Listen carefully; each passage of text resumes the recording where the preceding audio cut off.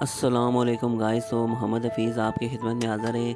आज मैं जो आपको जीप दिखा रहा हूँ, ये उन्नीस सौ बावन मॉडल है और वाइट कलर में तैयार हो गई है और इसको ये जो स्पेयर पार्ट वगैरह लगाया गया है, वो जैनवन ढूंढ के लगाया गया है। जैनवन भी बोलते हैं कुछ लोग कुछ लोग काबली बोलते हैं, कुछ लोग वलैती बोलते हैं। और आज मैं आपको ये भी बताऊँगा कि ये कौन सी कंट्री से ईजाद हुई थी ये।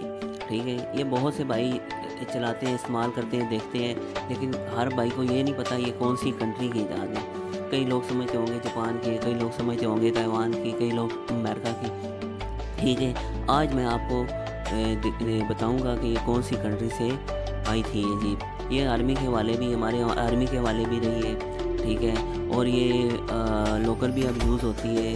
अब आर्मी से नीलामी हो चुकी है तो अब ये लोकल हम जैसे सिविल सिविल वाले यूज़ करते हैं ये जीप और ऐसे ही आप जीपों के हवाले से इन्फॉर्मेशन के लिए हमारे चैनल के साथ जुड़े रहें। हमारे चैनल को सब्सक्राइब करें और हमारी वीडियो को लाइक करें। अगर वीडियो पसंद आए तो हमें कमेंट्स में ज़रूर फीडबैक दें। और आ, किसी भी भाई ने जीप के हवाले से इन्फॉर्मेशन लेनी हो हम डिस्क्रिप्शन में नंबर डाल देंगे तो हमें कम कमेंट्स में भी आप मैसेज करके पूछ सकते हैं।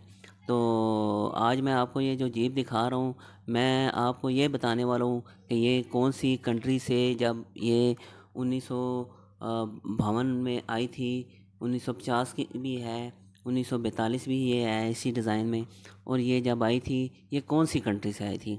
तो आज मैं आपको बताऊँगा, ये अमेरिकन जीप है, ये अमेरिका से आई थी।